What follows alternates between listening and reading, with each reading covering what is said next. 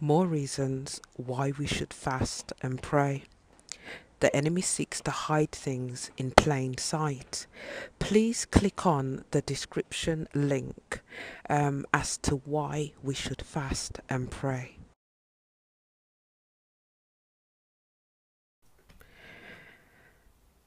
Are you still being harassed by the adversary? Remember, our weapons of our warfare are not carnal. So, what we do is spiritual. We do our battles in the spirit.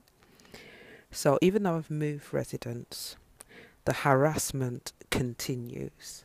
So, since 7 11, 7 7, you can see my previous video um, about the birthing of the Antichrist the harassment still continues. We've been getting brown water, so when we turn our taps, the water's still brown, um, the cistern's brown, and um, the water authorities put it down to a leak.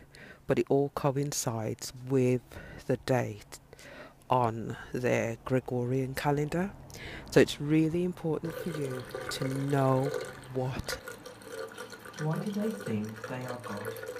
Why do they think they are young? They really are taking the mick